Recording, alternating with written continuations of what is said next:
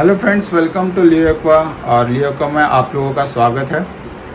आज हम लोग बात करेंगे एंजल फ़िश के बारे में।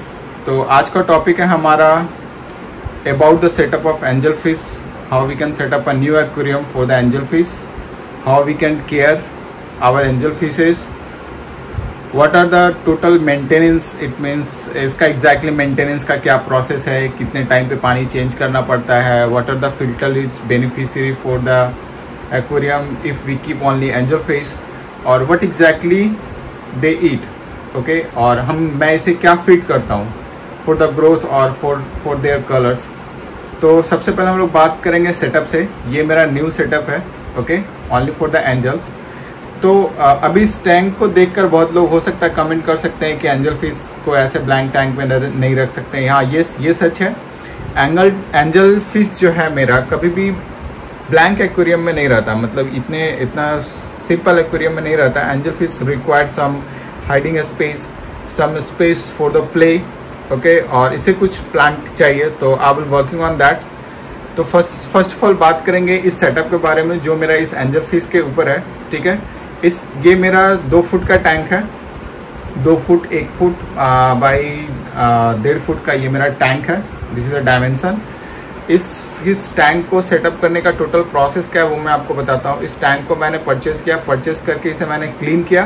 क्लीन करने के बाद this rock is totally free I will just keep this rock from the road side of side of the road okay और इस रॉक को मैंने टेस्ट किया है, जिसका कि मैं अलग वीडियो बनाऊँगा कि कौन सा रॉक एग्जैक्टली exactly हमें एक्वेरियम में यूज़ करना चाहिए और कौन सा यूज़ नहीं करना चाहिए। उसका एक टेस्टिंग प्रोसेस जिसमें मैं अलग में वीडियो बनाऊँगा उसके बारे में बाद में बात करता हूँ। पहले हम लोग बात करते हैं एंजल फ़िश के सेटअप उसके केयर और उसके फ़ूड के बारे में। तो एंजल फ़िश का सेटअप के लिए मुझे क्या लगा? मुझे एक एक्वेरियम लगा। एक्वेरियम के साथ ये एक्वेरियम का कैपेसिटी मेरा 45 टू 50 लीटर पानी का कैपेसिटी है। और इस एक्वेरियम में मैंने टैप वाटर यूज़ किया है। मतलब जो मेरा नॉर्मल वाटर होता है आ, मेरे आ, मतलब वाटर टंकी का उस पानी को मैंने यूज़ किया है। लेकिन उसको यूज़ करने का भी एक प्रोसेस है। मैंने डायरेक्ट टैप से उठा के इसमें नहीं डाला है। तो सबसे इस आसान प्रोसेस क्या है? इस टैंक को आप पहले खरीद कर लाइए। खरीद के लाके इसे क्लीन करके एक से एक से दो दिन इसे छोड़ दीजिए। और जिस दिन आप टैंक लाएँगे, उस दिन क्या कीजिए? आप किसी भी बकेट में या फिर किसी भी बड़े बॉटल में, जो कि 20 लीटर और 20 लीटर का जो वाटर पानी का जो बोतल होता है, उसमें आप टैप वाटर फिल कीजिए।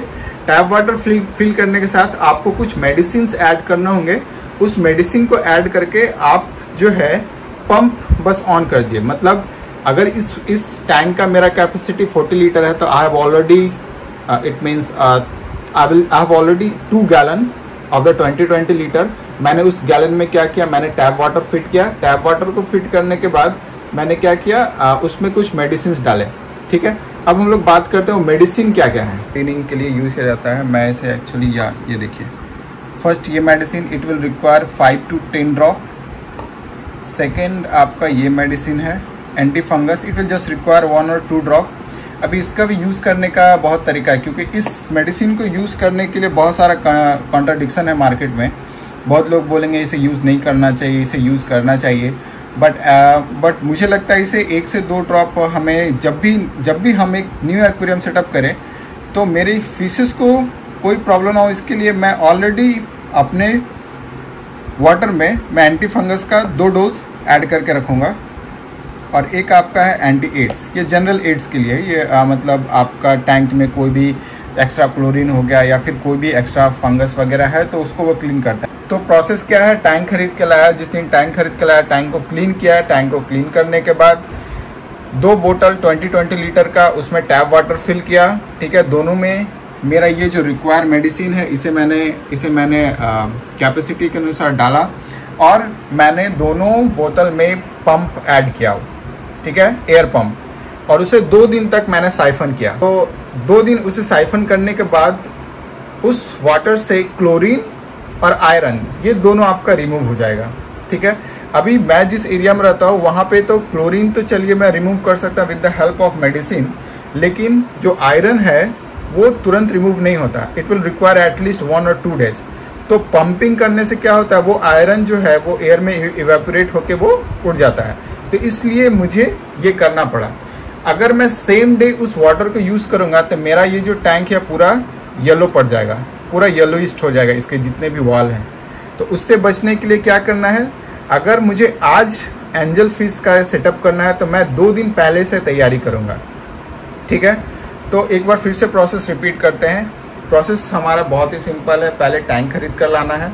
जिस दिन टैंक खरीद कर लाएँगे हम, उसके साथ हम लोग क्या करेंगे? हम हम अपना वाटर प्रिजर्व करेंगे। वाटर प्रिजर्व करके हमारा जो भी मेडिसिन है उसको ऐड करेंगे और उस उस प्रिजर्व वाटर में हम लोग पंपिंग स्टार्ट कर देंगे। यानी एयर फ्लो होना चाहिए for the at least minimum two days ठीक है?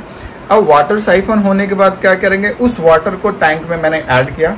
अभी एंजल फ़िश का केयर बहुत ईजी है। ठीक है, ये बहुत ही बहुत ही अच्छा फ़िश इसे माना जाता है और इसका मेंटेनेंस बहुत ही लो है, ठीक है।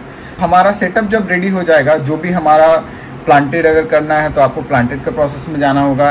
नहीं तो एटलीस्ट आपको कुछ जो एक्वेरियम डेकोरेशन है, वो आपको ऐड करना होंगे, ठीक है। कुछ रॉक्स वगैरह ऐड करना होंगे। और देन आफ्टर एक घंटा जब आपका टैंक जो है आपने जो भी फ़िल्टर अप्लाई किया है, उस फ़िल्टर अप्लाई करने के बाद जब आपका एक एक घंटा आपका जब टैंक पूरा चलेगा, जैसे इस सेटअप में मैंने एक टॉप एक पावर हेड यूज़ किया है तो जब मैं वाटर इसमें ऐड किया, ठीक है वाटर ऐड करने के तुरंत बाद मैंने फ़िश को नहीं छोड़ा। First I will add this add the water in a tank start this pump with light और इसमें मैंने एक ये स्पॉट लाइट यूज़ किया है विद द एल ये वाइट एलईडी ठीक है?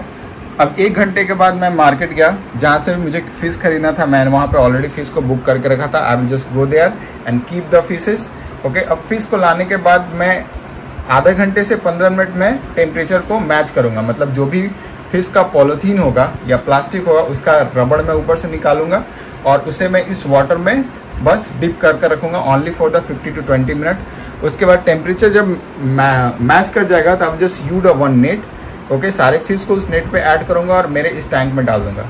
तो ये हो गया ये अभी हम लोग बात कर रहे थे सेटअप मतलब एक्वेरियम एंजल फ़िश के एक्वेरियम का सेटअप के बारे में। ठीक है, अभी ये मेरा बहुत ही सिंपल सेटअप है। ठीक है, अभी इसमें मुझे बहुत चीज़ें ऐड करना है मतलब इसमें मैं कुछ प्लांट ऐड करूँगा और कुछ रॉक्स और कुछ सैंड यूज़ करूँगा ताकि इसका लुक चेंज हो। ठीक है, ये इस टैंक को मैंने जस्ट टू डेज़ पहले ही सेटअप किया है और ये एंजल फ़िश पहले मेरे डिस्कस के साथ रहता था बट अभी मेरा डिस्कस का जो क्वांटिटी है वो कुछ ज़्यादा हो गया जिसके कारण मुझे एक अलग से एंजल टैंक मुझे सेटअप करना पड़ा है। ठीक है? अब हम लोग बात करेंगे एंजल फ़िश का केयर क्या है? मतलब इसका केयर इसको हम लोग केयर कैसे करते थे इससे केयर करना बहुत ही सिंपल है। सबसे पहली बात, ये जल्दी डाई नहीं करता, ठीक है? लिटिल बिट हार्डी होता है, ठीक है? और इसे हम लोग दिन में दो बार फिट कर सकते हैं। इसे, इसका टैंक इसका टैंक हम लोग at least minimum seven to ten days में हम लोग एक बार इसका 20 percent to 20 percent to 30 percent water को है चेंज करते हैं from the top it means we have to we have to require a one suck suck pipe okay तो जो भी डस्ट है उसे नीचे से 30 परसेंट वाटर निकाल के और नया टैप वाटर इसमें, जो कि ऑलरेडी साइफन किया हुआ वाटर है, उसे हम लोग इसमें ऐड कर देंगे। तो ये था इसका मेंटेनेंस का प्रोसेस अब ये फ़ूड खाता क्या है? तो ये एक्चुअली ऑलरेडी इसका मेंटेनेंस बहुत लाइट होने के कारण मैं इससे ये फ़ूड ये फ़ूड खिलाता हूँ। ये ऑप्टिमम का नॉर्मल फ़ूड है, ठीक है? ये लाइट है। और इससे, इसके अलावा for the for the health purpose okay for the health purpose I will give TetraBit also in week में मैं दो से तीन दिन में टेट्राबिट देता हूँ। तो ये था total about the fish about the angel fishes how we can keep angel fish हम इसे कैसे रख सकते हैं? और ये काफ़ी मतलब इतना एक्सॉटिक फ़िश नहीं है। ये ये आपको नॉर्मल हर एक शॉप में वेरी इजीली मिल जाएगा। और जनरली मुझे फिशेस फ्रॉम बेबी पसंद है। तो जब भी मैं फ़िश कीप करता हूँ I will just buy a small baby तो जब मैं इन फिशेस को बाई किया था I will just purchase fifty rupees each तो दो सौ रुपये का ये मेरा टोटल फ़ीस था। और उस समय इस फिशेस के साइज़ मिनिमम डेढ़ इंच से दो इंच थे और अभी इसका size more than 3.5 to 4 inch है। ठीक है? ठीक है तो ये था, और मेरे एंजल फ़िश का सेटअप के बारे में, जो कि मैंने आज ही सेटअप किया है।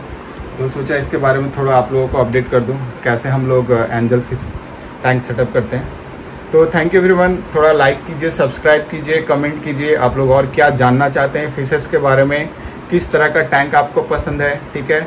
आप अपने रिक्वायरमेंट बताइए, आप क्या एग्जैक्टली सेटअप करना चाहते हैं? I will suggest on that okay just comment out and I will reply as soon as possible thank you everyone thank you for support bye